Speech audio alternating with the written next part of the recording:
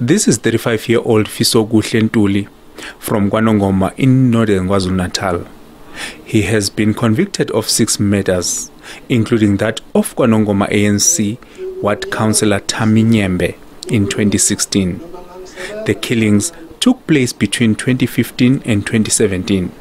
First, it was Nyembe, followed by four potential witnesses to his murder. Among the four were three siblings. The sixth murder has not been linked to politics. Ntuli has also been convicted of attempted murders and the illegal possession of firearm and ammunition. He was arrested in 2018 and was due to be sentenced at Esikhaleni Regional Court today. But the matter was postponed after Ntuli demanded a probation officer's report. The state says this has been one of the toughest cases due to the killing of multiple potential witnesses. If you've been following the, the case, some of the, the people who were killed in this matter were potential witnesses. The Zulu brothers, all of them, had really were willing to come forward to the police to disclose, the, give the information about the, the killing of Mr. Nyembe, who was a ward councillor.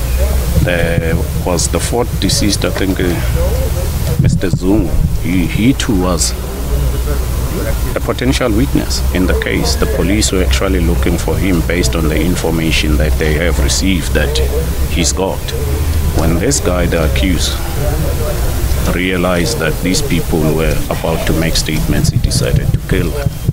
So that is why I'm saying even the witnesses who came forward here, they were risking their life based on that.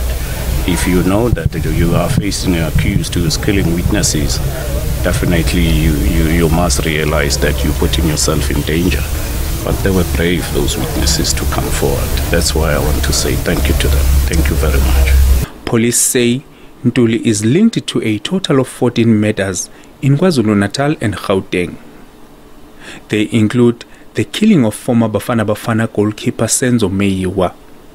Police say political killings have decreased since the establishment of this task team into political murders. I think you all will recall the, the level of political violence uh, during that time, the number of people that were being killed in the province. I think there was never a week that went past where there wasn't at least two or three killings in a week um, in, in KwaZulu Natal. But since the establishment of this team, uh, they didn't only secure the arrests of over 280 suspects in connection with those those killings um, around 2018 and before, but also uh, post. But what is very important is the work done by the, the, the KwaZulu Natal Political Task Team has also helped significantly reduce the number of attacks and killings as far as uh, political violence is concerned in the province. Ntuli will be back in court on the 9th of December for sentencing. Londi Khatebe, SABC News, Esikhaleni.